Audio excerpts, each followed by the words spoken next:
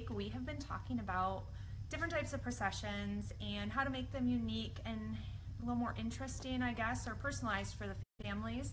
And one of the most, I think, profound type of processions we can do is for a service member, um, most respectfully for the fire department.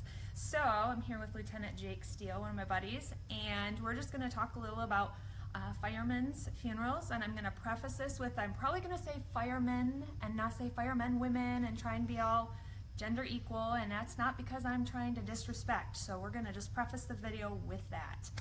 Um, so, Jake, how many funerals do you think you have been involved with since you started doing, you know, the fire department? Currently, I'm at nine in 10 years. Okay, so that's a lot. That's almost like one every year, which is pretty crazy.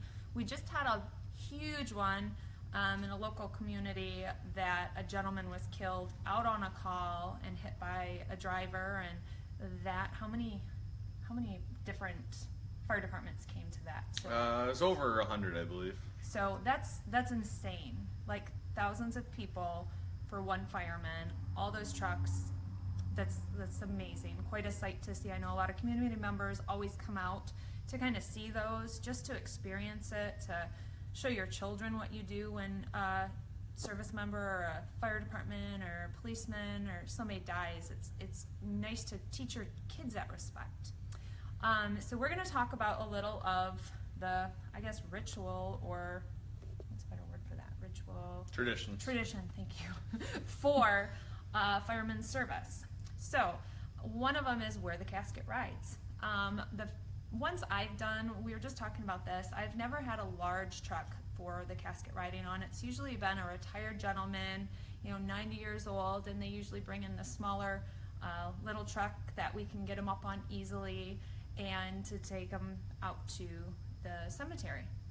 So, what truck usually do we ride on? Uh, quite often, uh, departments either have antique fire trucks or uh, their main engines. So the main engines have hose beds on the top that drop out down about two feet to about this level here, and so they can set inside of that. which is way up, if you can see. So you almost have to stand the casket on end to ho- hoist it up to people on top, which takes a lot of man or woman power to do.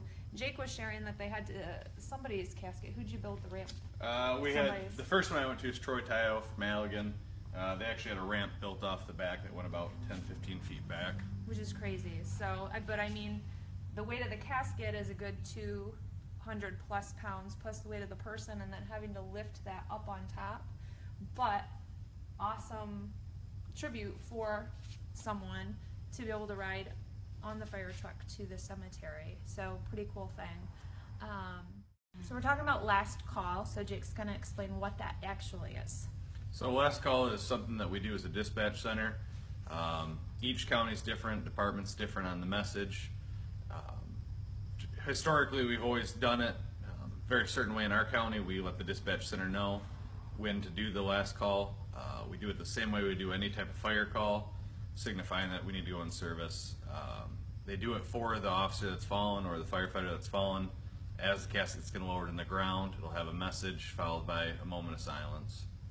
And they usually say they almost call out to them and they don't respond, and then they kind of say, it. was it like service out or? Yep. They, they, it'll change different variances of it. Um, usually they'll say it's it's the last call, um, return back to station. So Yeah, Now, who draws the short end of the stick on? The dispatch to- center. Having to do that, actually speaking during that. Um, it's pretty, pretty moving moment, cause the, um, radios go off and it, it echoes through the radios that they're calling for this person who's, who's now gone. So pretty, chokes me up even thinking.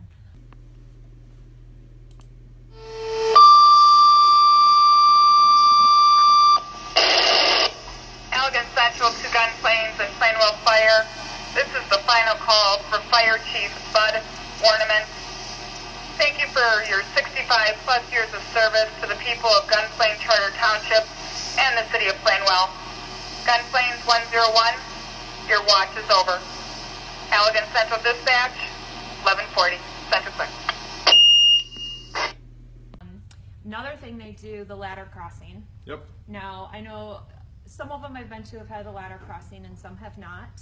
Um, some have been at the cemetery, some have been under, over the road as we're driving to the cemetery. So tell us a little what that is and what that looks like and stuff. It just it goes back to traditions. Um, not all counties have the same amount of ladder trucks. Not all counties have ladder trucks. Uh, we're blessed; we have several ladder trucks in, in our jurisdiction, so um, we can cross the ladders, have a flag going draping across them, so we can go underneath the flag. But that's not um, a standard. It's just a tradition that a lot of departments have picked up.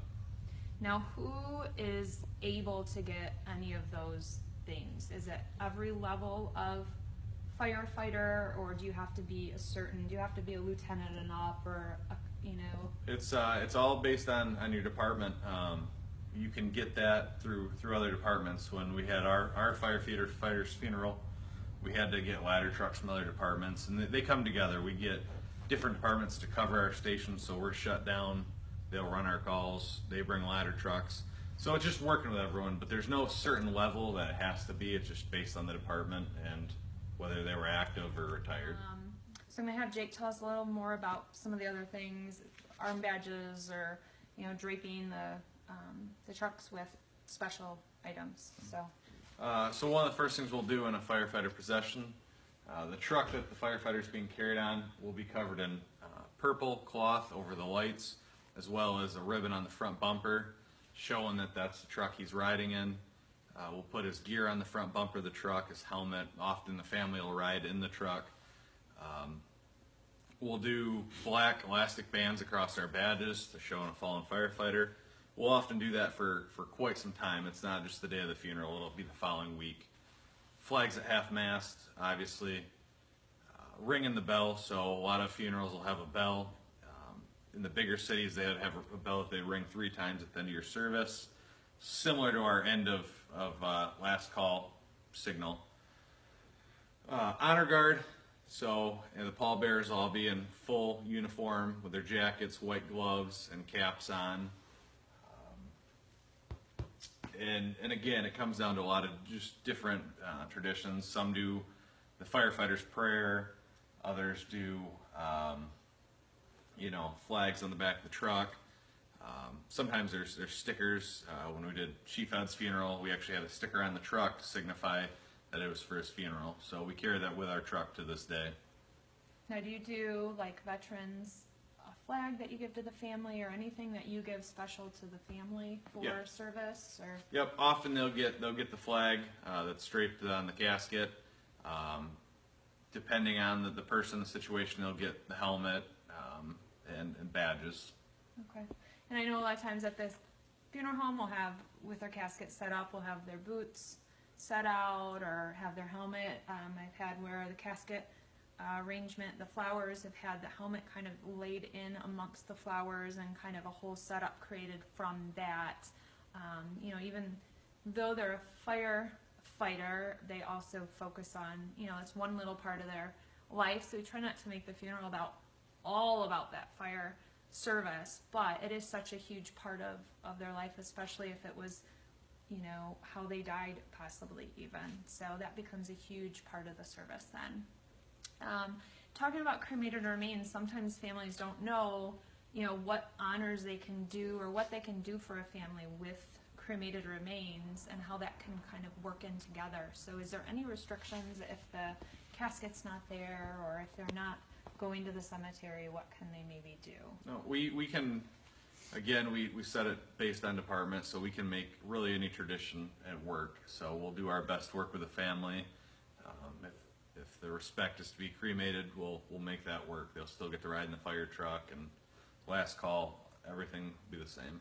It's they can do, even if they're not going maybe to somewhere, you could do the last call at the funeral home. We've done it right in the funeral home and, you know, use the microphone by one of the radios so you can hear it better, or had the ringing of the bell there, or um, if they are taking those cremated remains to the cemetery, you know, involving a truck in that transportation. So they can still have a lot of those things, like Jake said, even if they're not going to have their casket present. So, anything else you can think to maybe include about making that special? No, I mean, I think the biggest thing is there's a lot of good resources out there. Um, when we do have a fallen firefighter, we reach out to the county. The county has a lot of the purple cloths, the sometimes the ramps we need. They'll they'll supply a lot of it. So each each department, you just gotta talk to the the person in command. Awesome.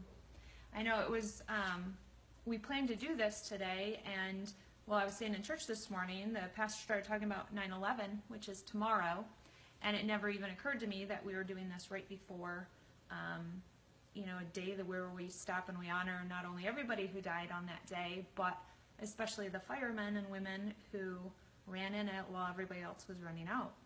Um, tomorrow, Jake is doing a special stair climb memorial where firemen and women come. They put on full gear and they climb stairs, uh, and as many stairs as they climb that day, which is how many 110 flights. Of stairs. So he'll be doing that tomorrow. So make sure you think about all the guys and girls who are um, paying tribute tomorrow and um, you know giving their day to remember everybody who had fallen um, 14 years ago, 16. 16 years ago, which is crazy. So you weren't doing firefighting at that time; you were too young. Yeah. So um, I can only imagine the aftermath of having to do that many funerals and trying to coordinate all that um, while that was happening, which took a huge community of firemen and women to come together to provide that service, which is unbelievable. So if you guys have any questions about firemen um, or firefighters' funerals, um, by all means, send them to me and I'll bounce them off Jake and we'll get answers for you. So thank you guys so much.